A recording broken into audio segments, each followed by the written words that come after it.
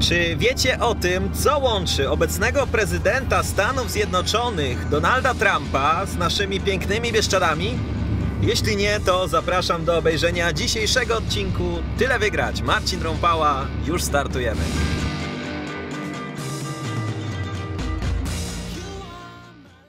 Cześć, zaczynam ten odcinek w czwartek wieczorem, bo już jutro, wcześnie rano, mam zamiar spełnić jedno ze swoich marzeń, czyli wybrać się w końcu zimą w Bieszczady, a dokładniej na ich najwyższy szczyt, czyli na Tarnicę. A póki co idziemy się pakować.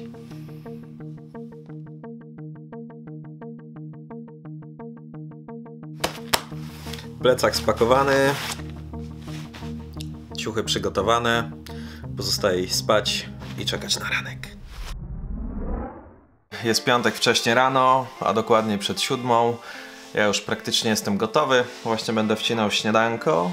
Proszę bardzo. Makaron z parmezanem. Zakochałem się w tej potrawie będąc w Albanii. Robi się mniej więcej tyle, co gotuje się makaron. Później się go tylko bełta w masełku, obsypuje parmezanem. I uwierzcie mi, że jest przepyszny. Zaraz jedziemy.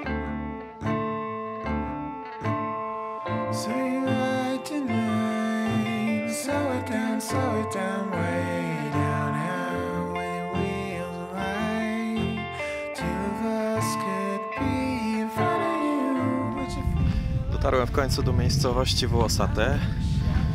Stąd prowadzi jeden ze szlaków właśnie na Tarnicę.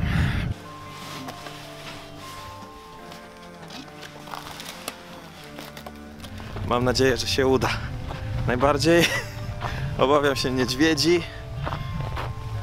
No i w sumie ciekaw jestem, jak będzie wyglądał szlak na górze. Może się okazać, że będzie no tyle oblodzony, że nie będzie się dało po nim chodzić.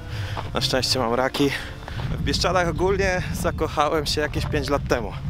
Wtedy pierwszy raz, nawet chyba więcej niż 5. W każdym razie pojechałem wtedy z moimi kumplami na chatkę Puchatka, kiedy jeszcze nie było tak tłoczne jak dzisiaj na niej.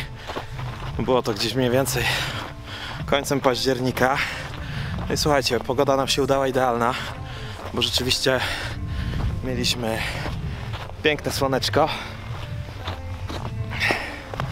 Widoki jak z Marsa, wszędzie było pomarańczowo.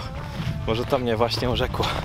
Jednak zainspirowany masą zdjęć w internecie z Bieszczad w zimie, postanowiłem sprawdzić, czy mają również w sobie tą magię.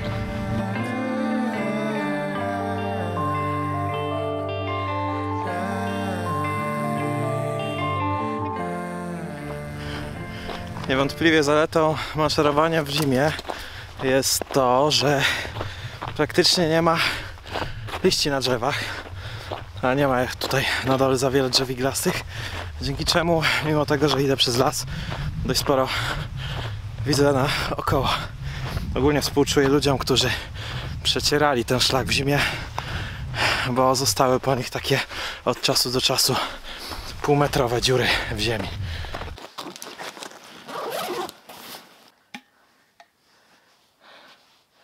Wasze zdrówka.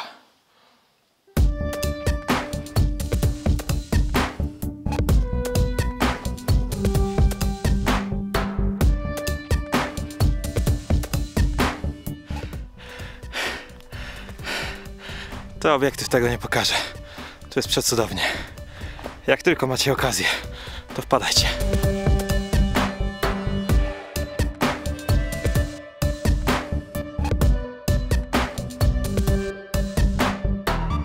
Zrobiłem sobie krótką przerwę śniadaniową.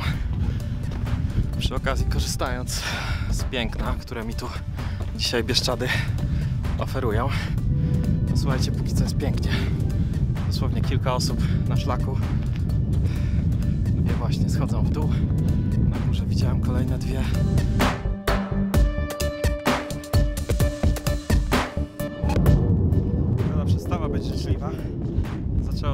Wiać na chwilę, teraz przestało, więc próbuję choć przez chwilę coś nakręcić.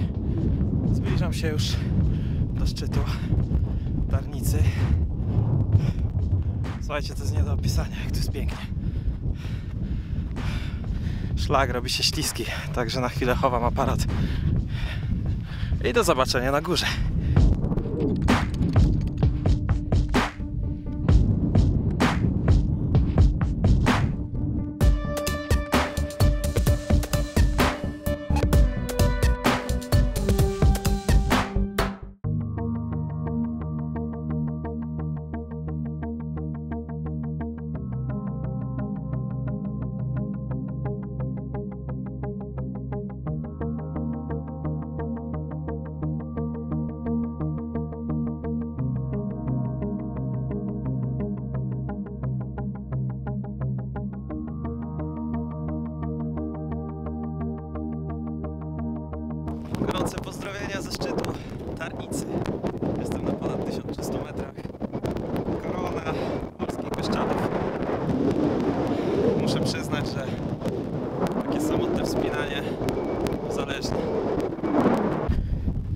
Odrobinę schodzi się nawet ze szczytu, od razu czuć, że wiatr trochę ustaje.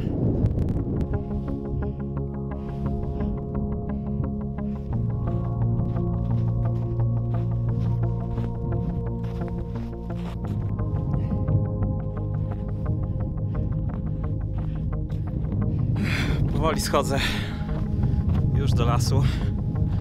Także najwyższa pora pożegnać się z połoninami i wrócić do ciepłego samochodu.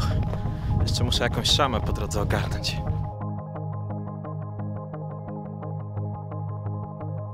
Jestem już na dole, wyszedłem z lasu. No i niestety miałem okazję widzieć już tegoroczne kwiatki w postaci jednej małej grupki w Adidaskach próbującej zdobyć szczyt do wpół do pierwszej.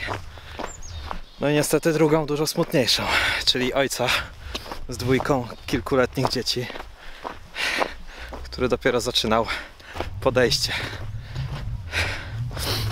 O ile byłoby to dla mnie zrozumiałe kilka, kilkanaście lat temu, o tyle w dobie internetu, gdzie wszędzie mówi się o tym, by w góry ruszać dość wcześnie.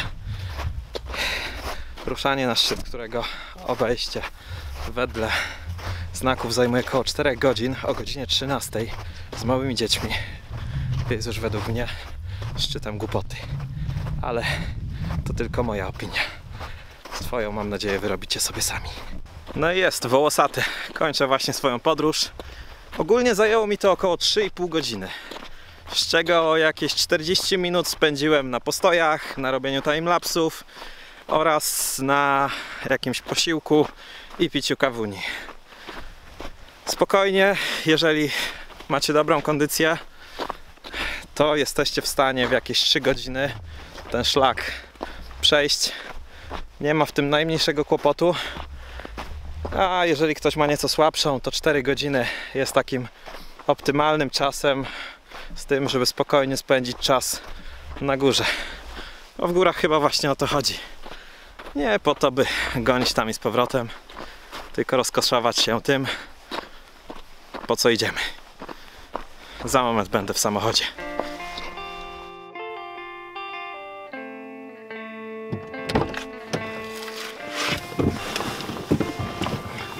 Woo!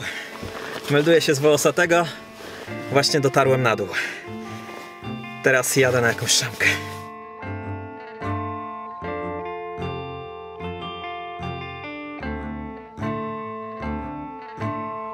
So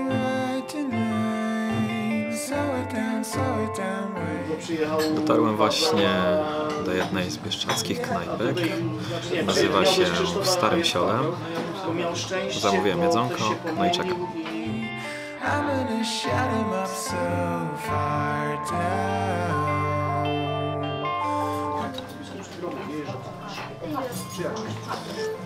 Ale ja podobna. Prawdopodobnie mieliście okazję słyszeć o tym, że Donald Trump, zanim został prezydentem, posiadał, no i posiada wciąż e, ogromną sieć hoteli bardzo luksusowych, które są rozsiane po całym świecie.